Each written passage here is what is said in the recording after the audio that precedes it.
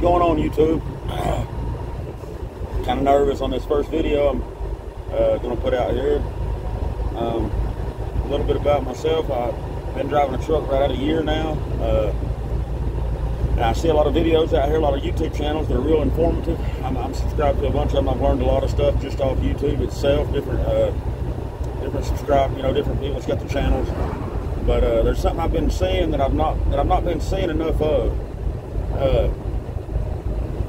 And it's uh, you know I hear you know all the information about different stuffs about trucks, loads, how to do this, working on you know all the stuff, all the steps and doing stuff. But uh, you know, about a year and a half ago, I was uh, going through a dark spell in my life, and uh, I seen a video on YouTube. His, his name was uh, Fred the Felon was his name, and uh, he was talking about how you can you know have a background uh, felony, you know this and that, still got to get a CDL license and uh, be successful.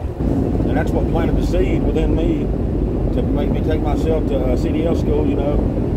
And uh, I just have to say, I, I, I want to let anybody out there know that that there is hope out there, man. Don't let your past drag you down, you know. I, I have a past, you know, pretty rough past uh, history, and I let it haunt my future. A lot of times it had me doomed, you know, working manufacturing jobs, you know, doing just whatever, you know, five, four, five, six hundred dollar a week job, you know, you know, busting my tail trying to get just enough money to make ends meet.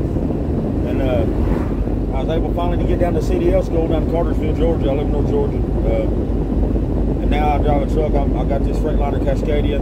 I'll go into that on a whole other video, but um, things are great, man. You know, it's uh, 90% of people I don't even don't discriminate about your background. They don't you know, certain hazmat jobs, they might want to know if you've been hauling bombs or something in your past, or, or you know, but just the fact of the matter is, if you if you got a work ethic and common sense, those two things intertwine them together, and you can be super successful in the trucking world. I, I come from a family that's never been in trucking, not a friend of mine, not nobody I've known to drive a truck. You know, very few people along the way, you know, in my life story that never nobody really, you know, educate me on it or try to show me anything with it and I've had to live and learn a lot out here on my own. I've had a couple thousand dollar tickets. It was just a you know rookie mistake stuff. But uh, yeah, I hope this channel reaches out to somebody, man. Just know that there's hope. There is a hope. There is a better day. Me and my wife has uh, it's unreal. Like I, I could just go into it for days and days about what all's changed in my life. Uh, we, we've just, you know, financially been blessed to the max, and it's all, you know, come from God, number one, but this, this, He put me into this trucking, and if I'd only known about this 10, 15 years ago, there's no telling where I would actually be sitting right this minute. But, you know, what better time than the present?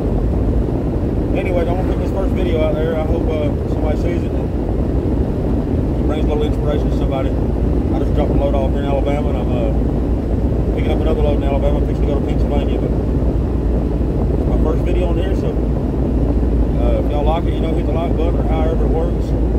Uh, yeah, hope y'all have a great day, man. Kill Killian's Trucking.